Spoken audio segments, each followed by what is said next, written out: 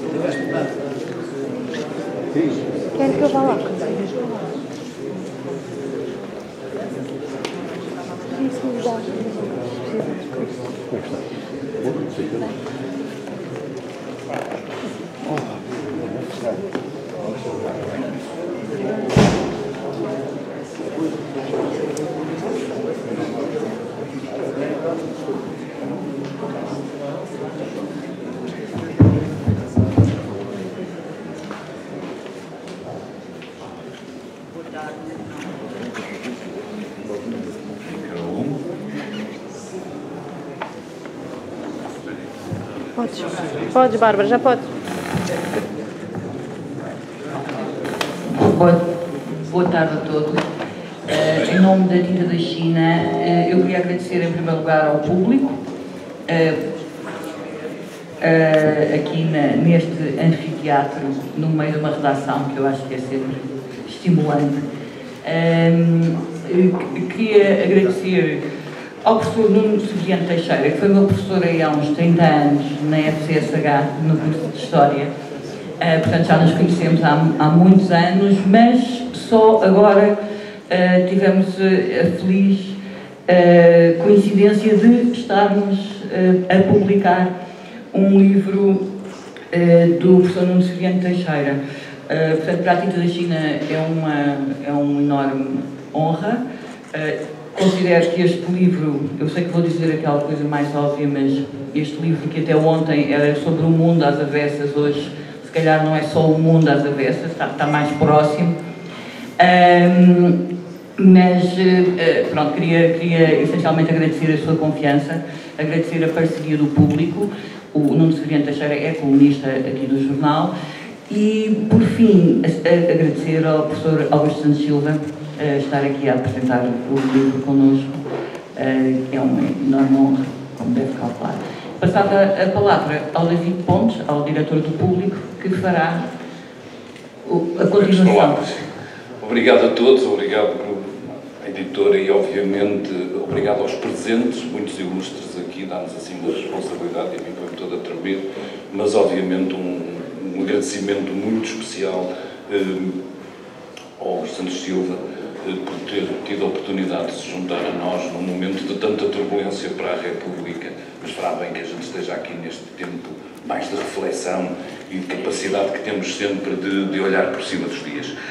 Como é óbvio, queria deixar um especial agradecimento ao autor, Carlos Nuno Severino Teixeira, por ter escolhido este espaço para o lançamento do seu Mundo às Avessas, perfeita ocasião para lhe manifestar o orgulho quinzenal que este jornal poder continuar com os seus escritos e a felicidade que é poder ajudar a difundir as suas ideias. Este é um livro que é uma coletânea destas, destas crónicas do público eh, e que acaba por ser, tornando-se uma súmula e, e- e a capacidade que temos de não olhar para elas só de 15 em 15 dias, mas de poder consultá-las, eh, uma oportunidade para asseverar da- da sua qualidade e pertinência. E basta começar logo pelo princípio, pela primeira crónica que abre o livro, publicada já no longínquo dia de 26 de janeiro de 2022, com as tropas de Putin às portas da Ucrânia, para ficarmos desde logo com o cartão de visita do autor.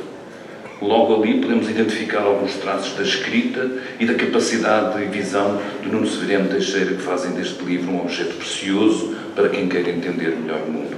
Desde logo a sua capacidade de antecipar a importância do que está perante a nossa frente, fundada no profundo conhecimento que ele tem sobre as tramas e as forças em jogo na política internacional. Depois, a clarividência de ver para além da espuma dos dias do que está realmente em causa. Sobre Putin, por exemplo, passo a citar, isto antes de ele consumar a invasão. Foi sempre esse o seu desígnio, restaurar o autoritarismo no plano interno e a zona de influência russa no plano externo, duas faces da mesma moeda, como sabemos hoje de uma forma tão aguda. À sua visão analítica, Nuno Severino Teixeira juntou que é essencial e sem o qual tanto saber não poderia ser tão virtuoso, que é a sua dimensão ética ao defender princípios que, sublinho, estão perfeitamente alinhados com o espírito que esteve na origem do jornal público e que continuam a nortear os nossos dias, nomeadamente a defesa da democracia, a crença no Estado de Direito e numa sociedade plural e inclusiva. E antes que as palavras de Augusto Santos Silva me reduzam à minha insignificância, permitam-me ler um extrato de uma crónica que resume bem o espírito que preside a estes textos. E tem muito a ver com esta questão dos valores. Quando se fala da crise da democracia liberal, o que está em retrocesso não é a democracia, é o liberalismo. Porque continua a funcionar a regra da maioria, continua a haver eleições, partidos e parlamentos. Que está sob ataque são os princípios liberais, a separação de poderes, o respeito pelos direitos humanos e o Estado de Direito. É por isso que são precisos democratas liberais para lutar contra o populismo e as livres e liberais. E é também por isso que são precisos socialistas liberais para lutar contra o leninismo das vanguardas e o autoritarismo dos regimes de esquerda. O socialismo só é possível em democracia, tal como os nacionalistas liberais que defendem os interesses do Estado-nação existente, mas reconhecem o direito das nações que aspiram a ter um Estado, que lutam contra o racismo e a xenofobia e defendem as minorias contra a tironia das maiorias tal como os comunitaristas liberais que, apesar do orgulho na pertença ao seu grupo, lutam contra o exclusivismo identitário. E o mesmo é verdade para a tolerância religiosa. Cristãos, judeus ou muçulmanos liberais não deixam de professar a sua religião, mas lutam contra todo o fanatismo religioso. No fundo, o que está em causa no ethos liberal não é aquilo por que se luta, mas o modo generoso como se luta. Por isso, o liberalismo é menos sobre quem somos e mais sobre o modo como somos quem somos. E como diz Walzer, o adjetivo liberal é hoje a nossa arma mais importante na luta por uma política digna. Ora, é essa luta por uma política digna e acerto generoso que faz com que eu me sinta um liberal. Quando lhe pediram uma definição de liberal do alto dos seus 87 anos e de uma das maiores obras da teoria política contemporânea, Walzer não escolheu um único filósofo, recordou a definição da sua atriz favorita, Lauren Bacall, que disse simplesmente: Um liberal é alguém que não tem a mente pequena. E isso, certamente, Nuno Severiano Teixeira não tem. Obrigado.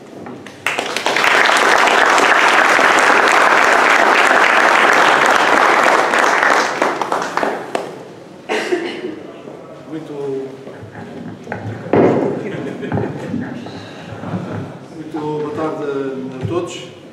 Queria saudar a, todos os presentes, em particular os amigos muitos que aqui vejo e também os uh, colegas uh, de profissão, da academia, também muitos diplomatas com que tive o prazer de trabalhar tantos anos. E, e pensei fazer uma apresentação breve do livro do Nuno, nós conhecemos há muitos anos, em uma espécie de três andamentos. Em primeiro lugar, proponho, propondo um certo contexto, em segundo lugar, tentando explicar porque considero este livro um serviço, e em terceiro lugar, eh, pontuando algumas, alguns dos elementos, dos ingredientes que me parecem mais interessantes do seu eh, conteúdo. Eh, primeiro, o contexto, porque vale a pena olhar para o contexto em que este livro é produzido, porque ele é ao mesmo tempo um contexto pessoal, um contexto académico e um contexto institucional, e todos eles são muito úteis e necessários. Em primeiro lugar, o contexto pessoal. O professor Nuno Severino Teixeira é um professor universitário, fez toda a sua carreira universitária, fundou e julgo que ainda dirige o Instituto Português de Relações Internacionais, fez uma evolução uh, disciplinar que o levou da história política e militar até às relações internacionais e à ciência política propriamente dita, e combinou esse seu lado académico com dois outros lados, na minha opinião, muito importantes. Um lado de serviço público, serviu em várias condições, como pró-reitor e vice-reitor da sua universidade, como ministro da Administração Interna e depois como ministro da Defesa Nacional. E um outro lado, que é o lado de divulgador, o que antigamente se chamava o publicista, isto é, uma pessoa que não só produz, cria conhecimento, ensina enquanto professor, mas também pratica atividades que habitual chamar-se na universidade de extensão, de divulgação, de disseminação do conhecimento, intervém no espaço público e procura qualificar o espaço público. E esse é um contexto pessoal muito importante, porque este livro não seria possível, não teria nascido se não for este contexto, visto que ele reúne sistemática e organizadamente as crónicas que o Nuno publicou, vem publicando no Jornal Público. Aqui há crónicas desde 2016 até 2023, até muito próximo de nós. E isso faz parte justamente dessa qualificação do espaço público, que creio não só é um direito, como uma responsabilidade dos académicos intelectuais. Mas também, dizia eu, um contexto público, no sentido em que o trajeto Severo Teixeira não é felizmente o único, e nós temos vindo a dispor incrementalmente em Portugal de percursos muito semelhantes. Alguns deles, aliás, são uma espécie de eh, rios que nasceram da sua própria nascente, são os seus discípulos, são os seus colaboradores, são os seus antigos eh, alunos ou eh, doutorandos e nós, felizmente, hoje, aqueles que nós querem compreender o que se passa no mundo à nossa volta, designadamente na comunidade internacional, dispõem em vários jornais em vários canais de televisão e programas de rádio de pessoas especializadas nesses assuntos. Uns são professores e investigadores, outros são jornalistas, outros são diplomatas já retirados, outros são militares também já retirados, e todos eles nos podem ajudar a compreender o mundo com duas características muito importantes para a nossa compreensão do mundo. Primeiro, algum saber e segundo, alguma diversidade. As duas coisas são importantes.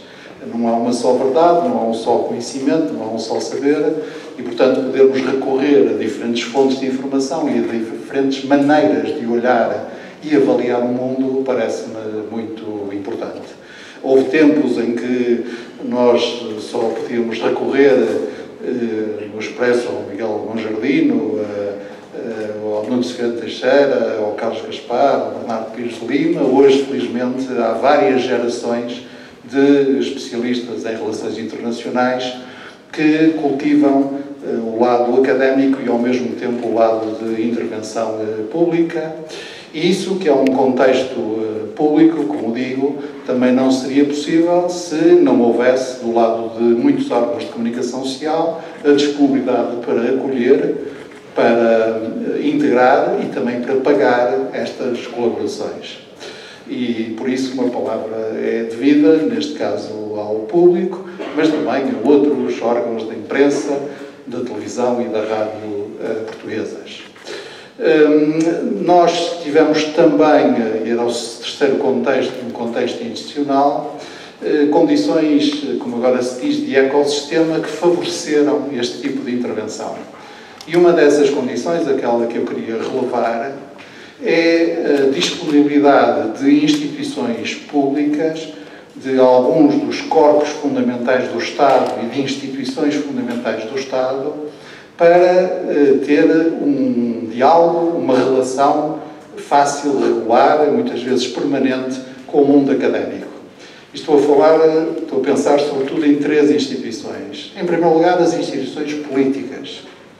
Eh, não digo isto por nenhuma necessidade de defender a mim próprio a minha gente, é mesmo por convicção. Isto é, eh, o Nuno Vicente Teixeira foi Ministro da Administração Interna, primeiro por ter uma grande paciência e até algum instinto suicidário, mas segundo, porque um senhor chamado António Guterres achava mesmo muito importante desafiar universitários, académicos, muitos deles, como era o caso dele, sem experiência política anterior, experiência partidária, experiência parlamentar, a trazer o seu ponto de vista e também a sua diferença para, para dentro dos governos. E isso acontece ao nível eh, central da República, como tem acontecido ao nível das regiões autónomas e como acontece ao nível de vários municípios e comunidades intermunicipais. E também há hoje eh, instituições sociais, parceiros sociais que também compreendem que a compreensão da geopolítica é muito importante para a sua ação, empresarial ou associativa, e também conseguiram e conseguem estabelecer uma relação regular com as instituições de produção de conhecimento. O segundo uh, elemento muito importante, a segunda instituição que tem aprendido a uh, cultivar esta relação é a instituição militar. Uh, organismos como o Instituto de Defesa Nacional, o Ensino Superior Universitário, o Instituto Universitário Militar, os, as escolas de nível secundário e profissional e de nível superior dos diferentes ramos e das Forças Armadas no seu conjunto, também foram estabelecendo canais de comunicação muito importante com o mundo académico. Em parte porque, felizmente, alguns dos nossos oficiais generais mais eh, experientes em matéria de estratégia e em questões de segurança e defesa nacional são eles próprios académicos eh, sólidos e consolidados. O Nuno prestou, aliás, um contributo pessoal para essa qualificação quando insistiu muito no seu mandato na plena assunção por parte das instituições superiores de ensino militar da sua qualidade, da sua natureza e das suas obrigações de universidades e todos podemos usar os ensinamentos a esse propósito que personalidades como o Adriano Moreira e outras nos deixaram.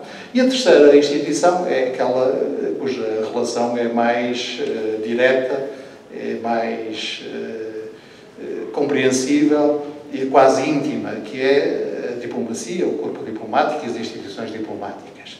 Uh, também, desde há muito, que a diplomacia se tem habituado a lidar com a universidade. Houve uns tempos em que essa ligação estava quase concentrada nas faculdades de Direito. Felizmente, hoje, percebemos todos que há mais mundo para além das faculdades de Direito, sem desprimor, e que as outras perspectivas, que não apenas uh, os debates sobre o que quer dizer a lei e o que nós queremos dizer, que a lei diz, são relevantes. Portanto, queria, em primeiro lugar, salientar este contexto. Em segundo lugar, e é mais rápido, o segundo andamento, é um alegre vivace, diz respeito ao serviço que este livro é. Este livro tem eh, uma forma de organização muito interessante, porque eh, o autor organiza tematicamente, o que facilita a vida a muita gente, quem não já estiver farto do Brexit eh, pode passar à frente a a parte, a secção que agrupa os, eh, as crónicas sobre o Brexit. Eh, quem estiver interessado menos em questões de relações internacionais e mesmo em, e mais em, questão, em questões de teoria política, de regimes políticos, pode dedicar mais tempo às várias crónicas muito importantes que estão aqui sobre as questões de democratização e autocratização uh, contemporâneas.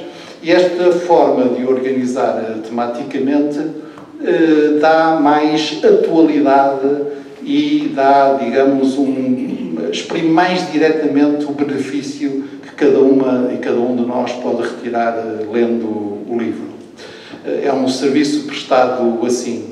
Depois, porque, quer nas crónicas, quer agora na reunião das crónicas, o que o autor nos faz é sempre propor um certo número de ideias para nos desinquietar e para alimentar a nossa reflexão. Portanto, os textos eh, são escritos não como sermões, cuja finalidade essencial seja mostrar-nos que estaremos condenados às penas do inferno se não seguirmos a moral apregoada. Muito longe disso, os textos são reflexões abertas, muita, muitas delas inconclusas, que alimentam a nossa reflexão com ideias do autor, ideias que não representam apenas as suas opiniões, mas representam também as suas opiniões. E essa é, um, é, uma dimensão do serviço que eu queria especificar. Aliás, na introdução, o Nuno explica muito bem isto, e é, pode parecer para muitos dos presentes chover no molhado, mas, mas vivemos tempos de seca e, portanto, convém chover, mesmo que seja no molhado. A que é que eu me refiro? Como dizia eu, Nuno Fernando Teixeira explica na, na, na nota introdutória, os textos aqui têm uma natureza mista, quero dizer híbrida para não haver confusões, mas mista, porque os textos existem porque, em primeiro lugar, existe uma atenção permanente à atualidade, são textos sobre a atualidade, não são textos de história, não são textos distanciados em relação a processos, são textos que incidem sobre a atualidade que está a acontecer, os acontecimentos que estão em curso. Em segundo lugar, os textos existem porque sobre essa atualidade é projetado um quadro analítico, portanto, não é achismo, não é eu cá penso que, e hoje acordei e lembrei-me que tinha uma crónica para escrever e saiu-me isto. Eh, não, é a aplicação de um quadro analítico que o autor descreve e caracteriza. Para os entendidos, o Nuno Severo Teixeira tem bastantes distâncias face às escolas realistas tem ainda mais distâncias face às chamadas teorias críticas e como tem que arranjar uma maneira de se catalogar a si próprio, cataloga-se como um institucionalista liberal. Depois podem me perguntar o que é que isso quer dizer. Uh, enfim, para mim é muito importante que o institucionalismo tempere o liberalismo e, sobretudo, qualifique o liberalismo, mas isso é outra conversa. E depois há o terceiro elemento, há o terceiro lado deste triângulo, juntamente com a atenção à atualidade e o quadro analítico, é que estas crónicas têm uma componente normativa. Eh, como acontece em muitas ciências sociais, desde logo na economia ou na, na ciência política, ou eh, ciências próximas das ciências sociais, ou saberes que incorporam elementos científicos, como o direito, as ciências jurídicas em geral, nós temos sempre de combinar o que antigamente dizíamos para ser fácil distinguir o elemento positivo, mais analítico, alguns de nós, alguns deles, dizem eh, moral, axiologicamente neutro, e os, o elemento normativo, isto é, temos que responder para responder à pergunta o que é, ou neste caso o que se passa, muitas vezes respondemos ao mesmo tempo à pergunta o que é que eu queria que se passasse, o que é que eu queria que se viesse a passar, ou até mesmo o que é que eu queria que se tivesse passado. E, portanto, essa combinação normativa, opinativa, em sentido não de opinião solta, mas de pronunciamento, juízo de valor, é muito importante. E há aqui este serviço, que é a combinação deste triângulo. Porque, na minha modesta opinião, uma das grandes falhas do espaço público português é uma divisão demasiado polar, como agora se diz, ou polarizada, entre aqueles que, por terem colunas de opinião, designadamente nas televisões, acham que estudaram uma chatice, perde-se tempo, até se fica a saber coisas que não se quer saber porque dá cabo das nossas narrativas e opiniões, e do outro lado, os outros que acham que sempre que têm que tomar partido, têm, sempre que têm que mostrar opinião, sempre que têm que intervir como parte, estão, digamos assim, a perturbar a santidade do seu refúgio ou a pureza da sua condição. Portanto, vivam os impuros uh, e eh, esse é um serviço que nos uh, prestam a todos. Terceiro andamento, portanto, era o contexto, o serviço e o conteúdo. É muito fácil descrever, é fácil de escrever o livro e, portanto, é muito difícil apresentá-lo do ponto de vista do seu conteúdo. E, portanto, eu permito-me chamar a atenção apenas para três uh, traços ou três temas fundamentais que nas 290 das 380 páginas que consegui ler até ontem de manhã me chamaram especialmente a atenção. Uh, o primeiro tema é, digamos, a conexão que existe hoje entre os ataques à democracia liberal, como regime, e os ataques à ordem internacional baseada em regras, à ordem internacional que autores como Severino Teixeira gostam de chamar ordem internacional liberal. Esse duplo ataque tem eh, conexão, essas duas componentes do ataque eh, está, estão associadas e é mesmo de um ataque que se faz e esse ataque tanto é exógeno como é endógeno. Isto é, tanto se faz de fora para dentro das democracias ocidentais, ou do chamado Ocidente político, como se faz da parte de, do lado de dentro do Ocidente político. Aliás, os mais eh, impressionantes, inesperados e até ameaçadores de entre os ataques recentes são exatamente endógenos. Estou-me a referir ao que aconteceu nos Estados Unidos, ao que aconteceu no Brasil, o que aconteceu eh, no Reino Unido durante a campanha para o Brexit, o que está acontecendo em Itália e assim sucessivamente. Segundo tema associado com este, eh, o Nuno Ferreira Teixeira acredita que eh, depois de vagas de democratização que sofreram um pouco refluxo e são hoje mais ténues no sentido de uh, serem, estarem geograficamente mais uh, limitadas e do ponto de vista da profundidade estarem também uh, mais contidas, para além das vagas de democratização, nós podemos falar também de três vagas de autocratização e que assistimos hoje a uma dessas vagas de autocratização. E chama muita atenção para que as democracias, muitas das democracias hoje em dia, já não se derrubam por golpes, mas erodem-se. Não sei se esta palavra existe, portanto, sofrem um processo de erosão. Caem por dentro, num processo que não é de ruptura, mas, de, mas incremental, e é um processo que usa alguns dos instrumentos convencionais da democracia, desde logo eleições regulares, que não livres, inteiramente, nem inteiramente competitivas, mas eleições regulares, para eh, fazer aumentar as componentes autoritárias e a orientação autoritária dos regimes, creio que esta é uma boa reflexão. E depois há uma reflexão mais doutrinária, ideológica, que o David já se referiu, que é justamente alguma reflexão sobre o liberalismo, que para fazer justiça ao autor deve ser dita no plural, reflexão sobre os liberalismos porque, como o Nuno Severino Teixeira explica mais ou menos a meia do livro, eh, a palavra liberalismo, se nós queremos usá-la com propriedade, precisa de qualificação.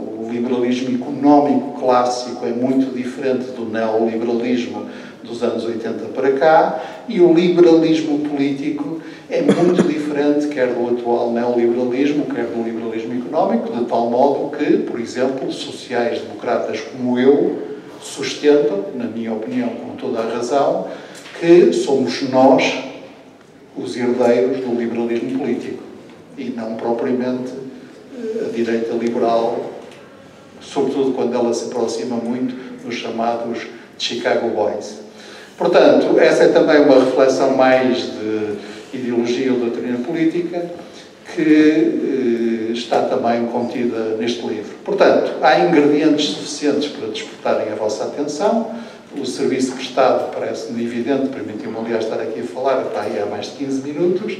E o contexto, peço que não o ignorem, isto é, peço que tenham em conta que estão perante um professor universitário que não tem medo de sujar as mãos, porque entende que meter as mãos no serviço público não é sujá-las e que tem também esta componente de procurar ajudar os seus concidadãos, através da imprensa livre, a pensarem, a pensarem informadamente sobre o que está a passar à sua volta e é também da sua responsabilidade. Muito obrigado.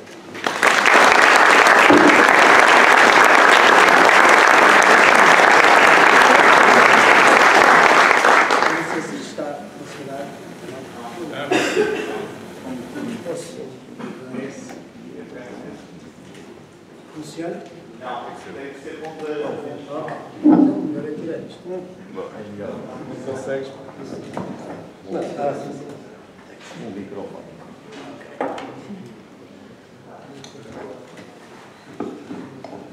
Bem, eh,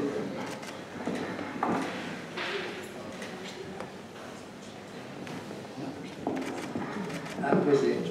Tá, faz isso. Faz isso. Muito bem. Senta-te ali para pousar o livro. Ah, também pode ser.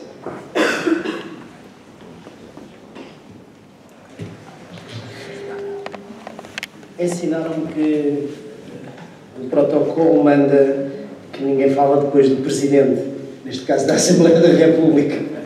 Mas se, se me permitem duas ou três palavras sobre o livro e, e outras tantas para agradecer o muito que tenho a, a agradecer. Eh, em relação ao livro, a minha tarefa está muito facilitada, porque o Augusto Santos Silva disse tudo e disse melhor do que eu diria. Mas ainda assim, duas ou três, duas ou três Este é para mim, eh, no meu percurso, um, um livro particular, porque não é um livro académico. É talvez o primeiro livro dos vários do, do meu percurso que não é um livro académico. É um livro de um académico, mas não é um livro académico. Ou seja, não tem citações, não tem notas de rodapé, não tem bibliografia, mas pressupõe que a bibliografia, as citações e as notas de rodapé já ficaram lidas para trás. É um exercício de opinião, que reúne as crónicas de opinião no Jornal Público ao longo destes últimos anos, e para mim a opinião é um exercício de cidadania, é assim que eu entendo. Um exercício de cidadania que exige, ao mesmo tempo, três coisas que eh, o Augusto Santos Silva já, já referiu. Primeiro, a atenção constante à atualidade. Segundo, a capacidade analítica. E terceiro, tomar uma posição sobre as coisas. No fundo, é aí que reside o exercício de cidadania. A atualidade, basicamente, é a nossa matéria-prima. É aquilo sobre o qual trabalhamos. E a atenção à atualidade é. Eu nisso admiro muito os jornalistas, porque é uma coisa cansativa. Estar sempre a acompanhar a atualidade é uma coisa cansativa. Mas é absolutamente fundamental para este trabalho. Segundo, é a capacidade analítica. E a capacidade, a atualidade é, é, é a matéria-prima, a capacidade analítica é um instrumento de trabalho. Basicamente é a chave de leitura, é o quadro teórico a partir do qual nós lemos a realidade. E aí, já foi dito, sublinho, eh, o meu quadro analítico é, é um pouco esse que foi, que foi explicitado por Augusto Santos Silva, um pouco mais longe do realismo que ainda hoje é dominante, também diferente da teoria crítica, estou aqui a ver alguns, alguns adeptos da teoria crítica, e que se situa um pouco no institucionalismo liberal, sem ignorar o construtivismo mais moderado, vamos dizer assim. O que é que isto quer dizer? Não, não interessa nada para aqui a discussão teórica, mas o que é que isto significa? Significa que, obviamente, eu não menorizo o papel do Estado e dos Estados, eu não ignoro a, a importância que tem o poder e também não sou ingênuo. Sei que a política internacional se faz com interesses. Mas também é preciso dizer, ao mesmo tempo, para usar a expressão do Dr. Jorge Sampaio, há mais vida para além do Estado na política internacional. Há organizações internacionais, há regras, há normas, há instituições. Eh, eh, E esse, esse conjunto de regras, de normas, de instituições, também ele próprio gera poder, também ele próprio convoca os Estados e, obviamente, há cada vez mais e com maior importância outros atores não estatais que contam na vida internacional.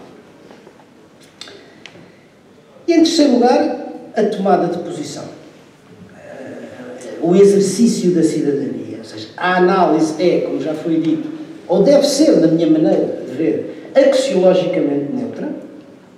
Não deve, a análise é tanto objetiva quanto é possível a objetividade nas ciências sociais, mas, obviamente, a, a, a, a opinião é tomar uma posição tomar um partido a partir da análise que se. E no livro, ao longo, enfim, dos vários capítulos sobre os vários sistemas, eh, há, digamos, uma, uma coerência de posição. É eh, tomar partido contra a lei da força, a favor da força da lei. Isto é, a favor de uma ordem internacional baseada em regras. É contra a guerra, a favor da segurança internacional e da paz. Mas atenção, uma paz que não favorece o agressor, uma paz que não prejudica a vítima. Isso sim é uma paz justa. Obviamente também contra as autocracias a favor da democracia, contra a emergência de processos de autocratização nas margens, nas periferias e, ao mesmo tempo, no interior das sociedades ocidentais, das sociedades, não, vamos dizer, do centro, as derivas iliberais e populistas que atacam a própria democracia. E é, portanto, aí também a defesa da democracia liberal. E no fim do dia, eu diria que de tudo isto, quer no plano interno, quer no plano internacional, há uma coisa que me pareceu evidente. É que quando nós sacrificamos os valores em função dos interesses, acabamos por perder imediatamente os nossos valores. Mas a médio prazo, muitas vezes, muito frequentemente, acabamos também por perder os nossos interesses. E isso, eu julgo, que é algo sobre o qual devemos refletir. Se, se dessemos um pouco mais de atenção aos valores e um pouco menos aos interesses, talvez o mundo estivesse um bocadinho menos do avesso e um bocadinho mais do direito. Duas palavras finais para agradecer. Um livro é sempre uma, um livro é sempre tem um autor, mas, mas não é uma obra individual e é por isso que é devido um agradecimento a todos aqueles que tornaram este livro possível. Ao público, em primeiro lugar, onde estas crónicas foram inicialmente publicadas. Na altura, Manuel Carvalho era o diretor e interessou-se por esta ideia, por este projeto, e eu estou-lhe grato por isso. Eu já conhecia o Manuel Carvalho porque ele escreveu um conjunto de crónicas que reuniu em um livro sobre a memória da Primeira Guerra no norte de Moçambique e nessa altura pediu-me para, para apresentar, sabia que eu tinha trabalhado sobre a Primeira Guerra. E nos conhecemos e travámos essa, esse conhecimento e essa amizade e, e ele foi sensível e, e, entusiasta por esse projeto, estou-lhe grato por isso, como estou ao David Pontes por ter continuado essa, esse, esse compromisso e aliás nos ter desafiado para outros, para outros, outros desafios. Uh, dois grandes jornalistas deste, deste jornal, amigos de longa data, foram importantes no início deste projeto, por razões várias. Nenhum deles pode estar aqui. A Teresa de Souza, porque está nos Estados Unidos, e o Nuno Ribeiro, porque está no oftalmologista, segundo me disse há bocadinho. Uh, mas uh, também fica um agradecimento para eles. E aos dois editores de opinião de grande profissionalismo, grande simpatia com quem tive o gosto de trabalhar ao longo deste período, o Tiago Luís Pedro e o Álvaro, o Álvaro. Um agradecimento, como é óbvio, à Tinta da China. Uh, uh, e a essa equipa fantástica da Tinta da China, que há 18 anos, não é verdade, leva este projeto para a frente e, como eu estava a dizer há bocadinho à Bárbara, não só faz livros bons, mas faz livros muito bonitos. E não são só os valores éticos que valem, os valores estéticos também. E, e, e, portanto, à Bárbara, eh, que, como ela já disse, nos conhecemos há uns anos largos, eh, e, e, que é a alma deste, deste projeto, mas há Inês Long e a Cristina Homem Marques, que fomos trabalhando. É uma equipa quase toda feminina, se eu bem percebo. a elas fica, digamos, a minha, a minha gratidão. À minha universidade e à minha faculdade ao reitor João Sago e ao diretor Luís Batista que me permitiram, que me deram autorização para, digamos, ao mesmo tempo que tenho as minhas, os meus deveres académicos, me autorizaram a fazer este trabalho.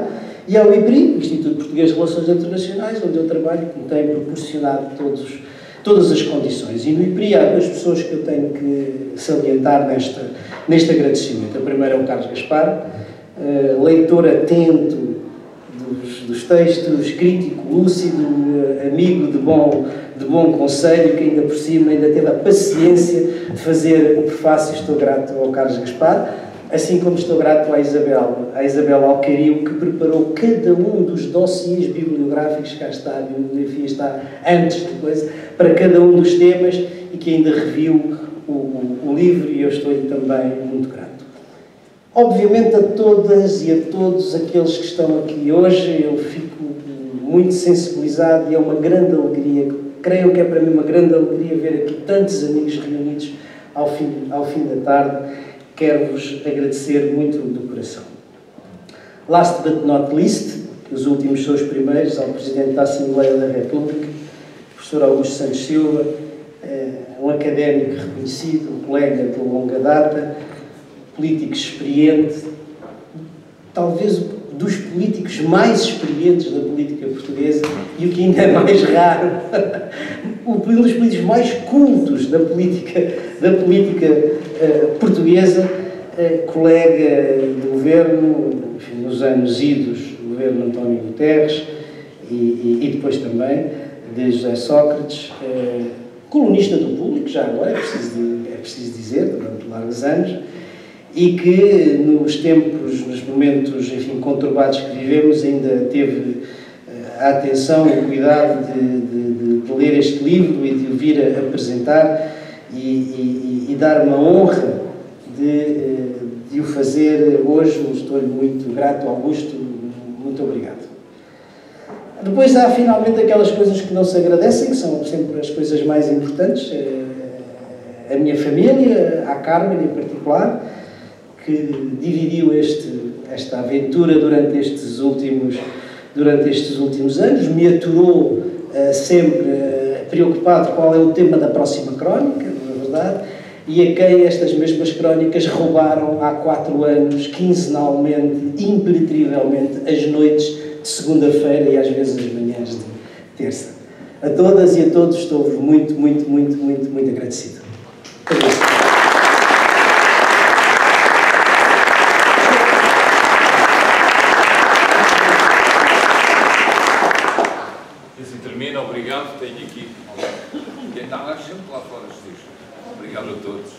Eu sempre, eu sempre reclamo com, com, com, os lançamentos que demoram, demoram duas horas e se prolongam. Batemos o recorde, nós chegámos a 45 minutos.